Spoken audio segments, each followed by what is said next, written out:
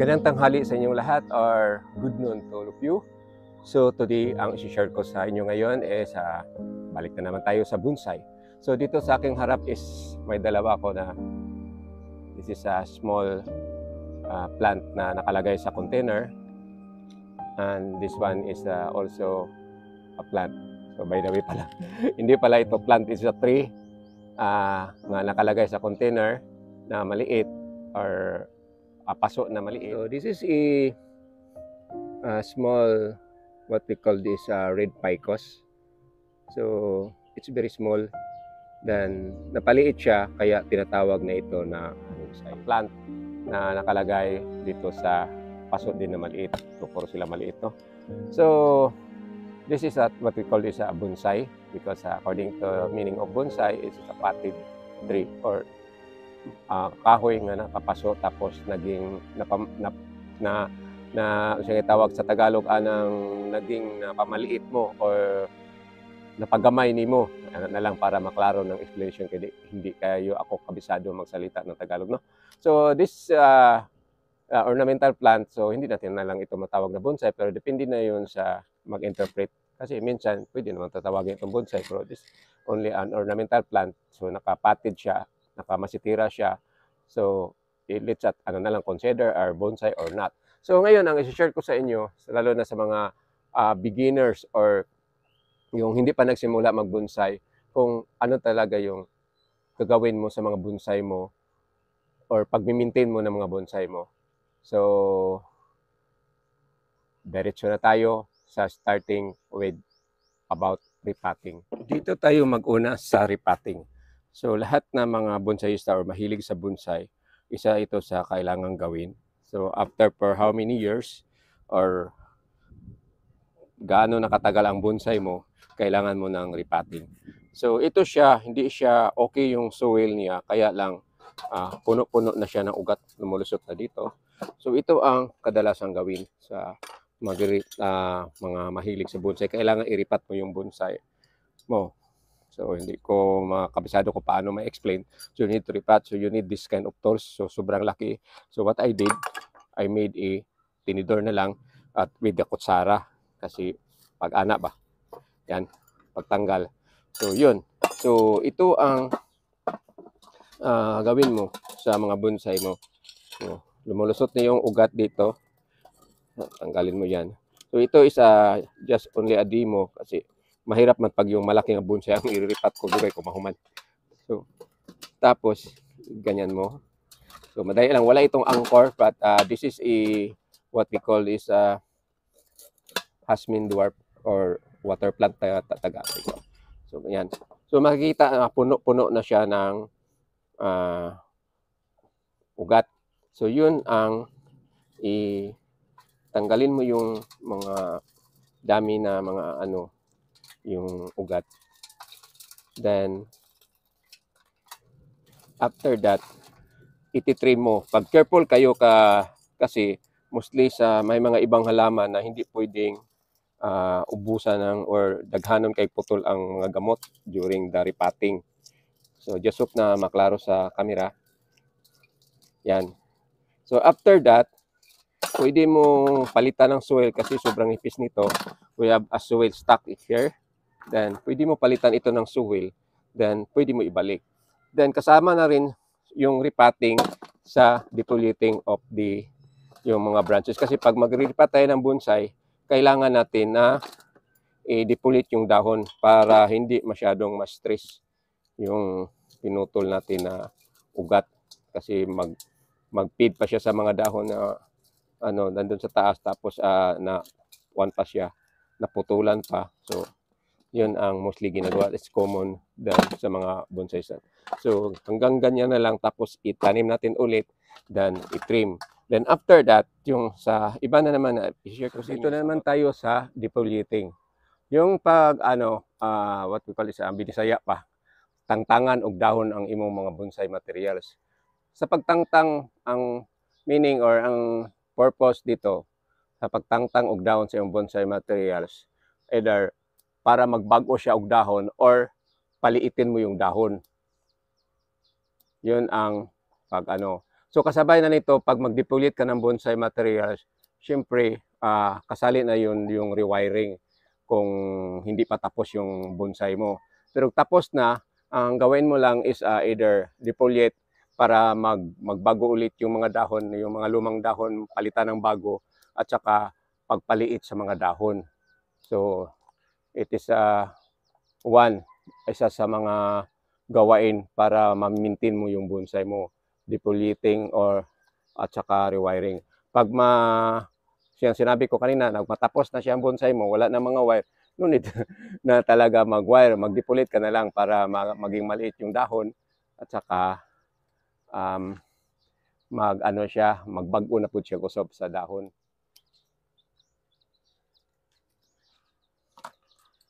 So natapos na natin ito na defoliate, syempre i-rewire naman natin for ah, mga parang mga adjustment sa mga sanga niya na mas maganda ang tignan kung nakabawg-bawg tanan. So rewire na naman. So pasensya na kayo sa mga wire kong ginagamit kasi recycle lang ito so hindi maganda yung pagka-wire ko dito.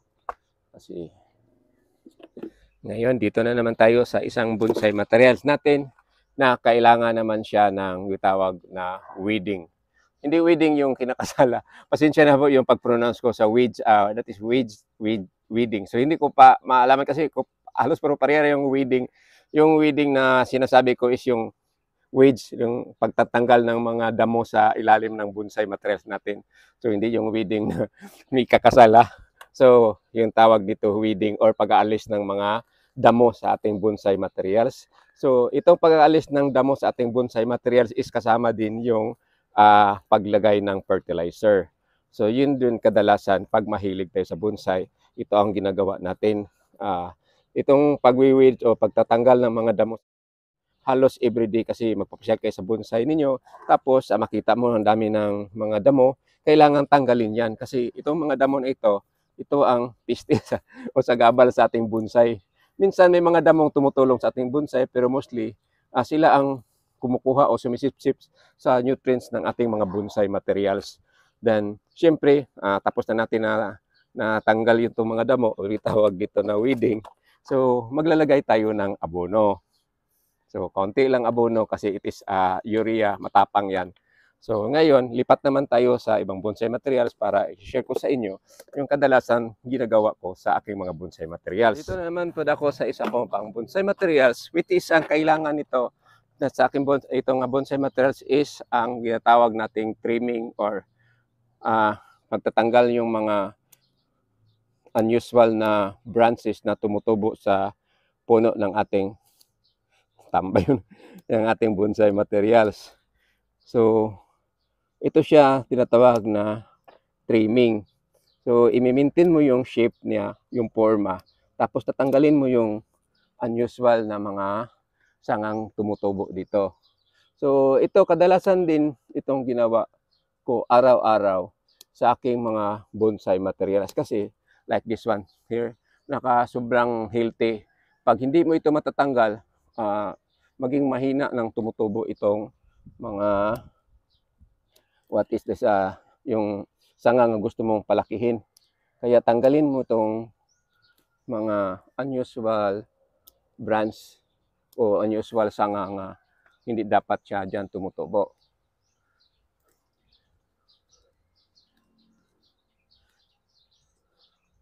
Katulad nito, yan, so siyang dahilan na pangitignan.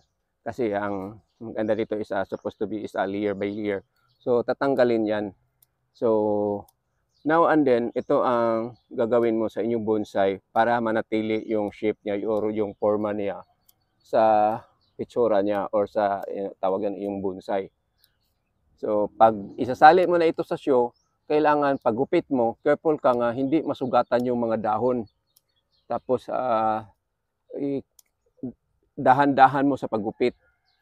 Ah, itong ginagawa ko ngayon is ah, because ah, ito is bonsai materials pa ito, so no need na magdahan-dahan ako, pwede diretsuhin ko na lang kahit masugatan itong mga dahon, okay lang kasi ah, after for how many years i didipulit ko man ito for ano ma- para magbago yung mga dahon na naman niya tapos hindi na lumang tignan ba. So for sa ngayon is ang ginagawa ko is uh, diretso pa lang ng trim na trim. So ayun na ang una yung repotting, then go on depolit at saka rewiring, then taking off some ano yun dam- damo sa bonsai materials mo, then putting a fertilizer, then up to here naman na magti-trim ka na yung bonsai materials. So para manatili yung forma ng inyong bonsai materials. Ah, katulad nito. So although is ah, maliit pa siya, so it need for how many years pa ito bago maging ah, matawag na sa para sa akin matawag ko ng totoong bonsai na For this ah, morning, ah, yun lang ang masishare ko sa inyo about ah, kung paano ko inaalagaan itong mga bonsai ko or ma-maintain ko yung mga bonsai ko. So kailangan una ah, ibabalik ko lang for ano lang para summary, ah, tawa summary, summary.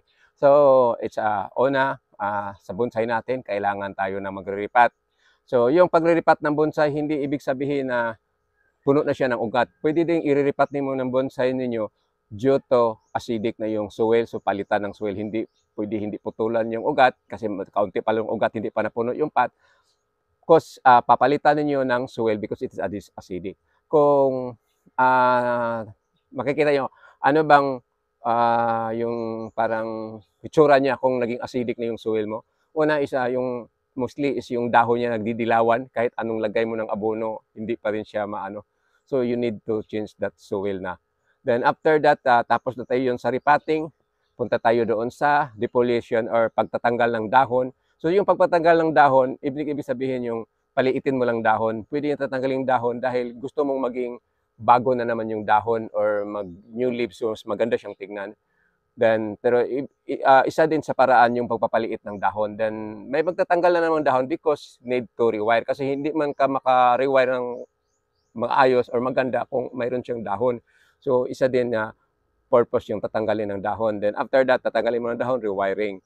Then after that, isa yung sinasabi ko na weeding, yung hindi weeding ang kasal, yung weeding uh, pagtatanggal ng mga damo sa mga bonsai materials natin. Then trimming sa para manatili yung uh, what we call forma ng iyong bonsai materials. So yun ang masishare ko sa inyo. Ah, maraming salamat sa panonood. God bless you all. Have a nice more morning, not morning anymore. So it's around 12 o'clock na. Have a nice noon ahead of you. Bye-bye.